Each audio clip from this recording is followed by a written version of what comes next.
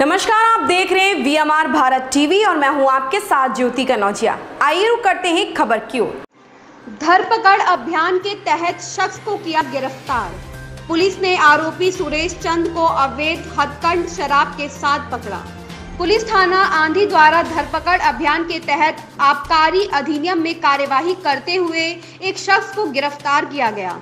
इस दौरान पुलिस अधीक्षक मनीष अग्रवाल ने जानकारी देते हुए बताया कि संपूर्ण ज़िले में धरपकड़ अभियान व अवैध गतिविधियों के विरुद्ध प्रभावी कार्यवाही हेतु विशेष अभियान चलाया जा रहा है।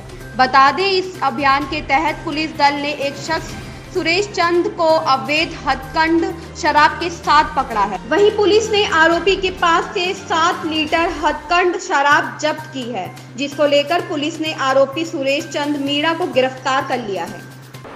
ऐसी ही खबर से जुड़े रहने के लिए आप देखते रहिए वीएमआर भारत टीवी